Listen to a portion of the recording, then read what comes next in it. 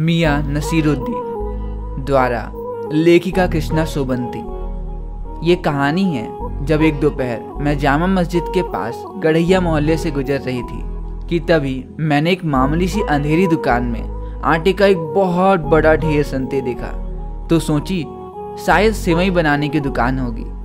लेकिन पास खड़े लोगों से मालूम पड़ा, मैं किसी ऐसे वैसे नहीं, खानदानी नान बाई मियाँ नसीरुद्दीन की दुकान में खड़ी हूँ।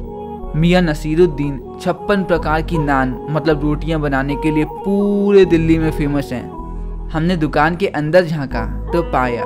मियाँ चार पाई में बैठे बीड़ी का मस्त आनंद ले रहे हैं। हमें ग्राहक समझ, उन्होंने कहा, फरमाइए जनाब।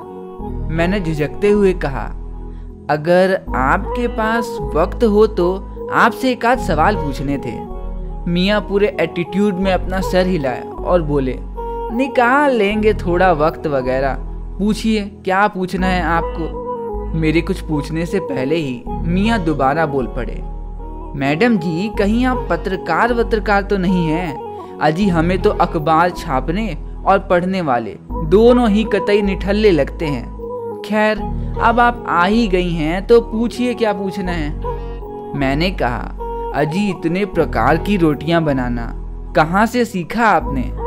सवाल सुनते ही मियाँ ने ऐसे देखा, जैसे पता नहीं मैंने क्या पूछ लिया हो, और कहा, क्या मतलब?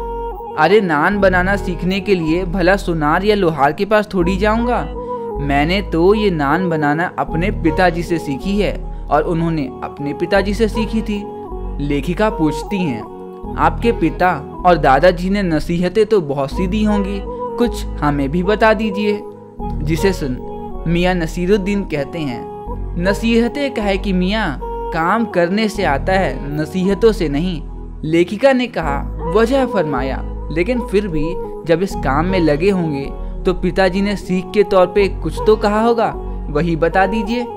नसीरुद्दीन साहब ने जल्दी से बीड़ी की दो तीन कस्तें खींची और गला साफ़ कर बड़े अंदाज से बोले, अगर आपको कुछ कहलवाना ही है तो बताए देते हैं। आपने स्कूल तो देखा होगा ना जब बच्चा स्कूल में पढ़ने जाता है तो टीचर बोलते हैं, बोलो छोटा आ। तो बच्चा बोलता है, छोटा आ। बोलो, बड़ा आ। तो बच्चा बोलता है, बड़ा आ। कुछ समझी? टीचर जैसा करने को कहता है, बच्चा ठीक वैसा ही करता है और पढ़ाई सीख जाता है। ठीक वैसे ही पिताजी ने जैसा करने को कहा, मैं करता गया और बन गया नान भाई। अब इसमें नसीहतों का भला क्या काम? बताइए आप खुद ही। कि तभी दुकान के सामने से गुजरते मीर साहब को आवाज़ दे डाली। कहो भाई मीर साहब, सुबह नान लेने ना आना हुआ, पर क्यों? मीर साहब ने सर हिलाया और कहा, मियाँ, अभी लौट के आते हैं, फिर बताएँगे। और निकलते बने, जिसके बाद लेखिका ने कहा, मियाँ, आप कुछ पढ़ाई के बारे में बता रहे थे, बताइए बताइए। मियाँ ने कहा हाँ मान लो कोई बच्चा के जी, फ़र्स्ट सेकंड क्लास पढ़े ही ना, और सीधे थर्ड क्लास में बैठ जाए तो कुछ सीख पाएगा का? नहीं ना। वैसे ही मैंने सीधे नान बनाना नहीं चालू कर दिया। पहले मैं भट्टी बनाना सीखा, उसे सही आँच में जलाना सीखा, और तो और बर्तन धोना सीखा, फिर कहीं जाके धीरे धीरे नान बनाना सीखा। मियाँ ने हमारी तरफ़ ऐसे देखा, जैसे हमसे कोई जवाब एक्सपेक्ट कर रहे हों। अब हमें तो भैया सवाल ही नहीं पता था। पर मियाँ नसीरुद्दीन ने कहा, अरी साहब, तालीम की तालीम भी बड़ी चीज़ होती है। मतलब नान बाई बनाना सीखने के लिए हमने पहले बाकी काम करना सीखा, पहले बेस बनाया, सीधा नान बाई बनाना चालू नहीं कर दिया। मैंने सर हिलाया और कहा, वाह मियाँ, क्या कहा है, मान गए आपको। अब ये सुन मियाँ जोश में आ गए तो हमने एक आध सवाल और पूछ लिया। हमने पूछा मियाँ यहाँ नान बाई तो बहुत से होंगे। नहीं, मियाँ ने घूर के देखा और कहा हाँ बहुत से हैं, लेकिन हमारी तरह कोई खानदानी थोड़ी? अरे, आपको क्या पता? एक बार तो हमारे बुज़ुर्गों से दिल्ली के बादशाह सलामत ने कहा, मियाँ वही वही खाते खाते थक गए हैं। कोई ऐसी चीज़ खिलाओ जो ना आग से पके, न पानी से बने। मैंने झट से पूछा तो क्या उनसे कुछ बनी ऐसी चीज़? मियाँ ने कहा, क्यों नहीं बनती भला? बनी, और तो और बादशाह सलामत ने बहुत तारीफें भी की। हमने झट से पूछा, वैसे वो पकवान था क्या? मियाँ ने कहा, हम नहीं बताएँगे। बस आप इतना समझ लीजिए, ये कहावत है कि खानदानी नान बाई कुएँ में भी रोटी पका सकता है। मैंने कहा, क्या? लेकिन ये कैसे हो सकता है? मियाँ, ये कहावत सच भी है कि नहीं? मियाँ ने गुस्से से कहा, नहीं तो क्या झूठ है? आप ही बताइए, रोटी बनाने में भला झूठ का क्या काम? झूठ से रोटी बनेगी क्या? नहीं नहीं बताइए, आपने कभी झूठ से रोटी पकती देखी है क्या? मुझे ज़बरदस्ती सर हिलाना ही पड़ गया। और मैंने कहा हाँ सही कह रहे हैं, झूठ से रोटी कैसे बनेगी? वैसे मैंने हिम्मत करके एक और सवाल पूछ ही लिया। वैसे मियाँ, ये तो बताएँ आपके ये जो पूर्वज थे, वो दिल्ली के किस बादशाह के यहाँ काम करते थे?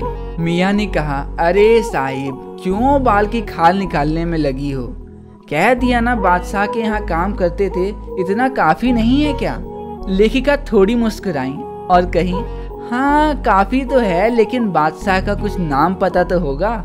मियाँ ने चिढ़ के कहा, फिर वही बात, आपको बादशाह को चिट्ठी भेजना है क्या? अब मियाँ हमारे ऊपर चिल्ला तो सकते नहीं थे। तो वो अपने कारीगर को चिल्लाते हुए बोले, अरे ओ बब्बन मियाँ, भट्टी सुलगा दो तो काम निपट जाए। मैंने पूछा, वैसे ये बब्बन मियाँ कौन है साहिब?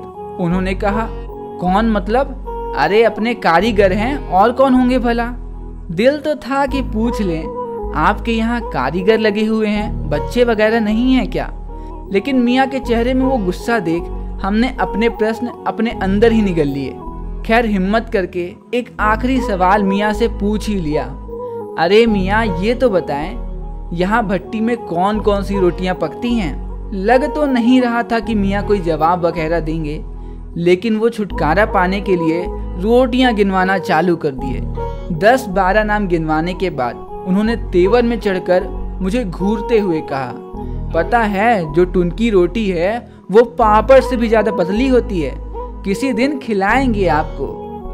मियाँ ने एक लंबी सांस ली और कहीं ख्यालों में खोते हुए कहा, उतर गया वो जमाना और गए वो लोग जो खाने और पकाने की कद्र किया करते थे। तो बस यहीं पे ख़त्म होता है हमारा ये प्यारा सा चैप्टर। मिलते हैं अगली वीडियो में। अगले चैप्टर के साथ देखने के लिए प्लेलिस्ट में क्लिक करें और तब तक के लिए दीजिए मुझे इजाज़त। नमस्कार।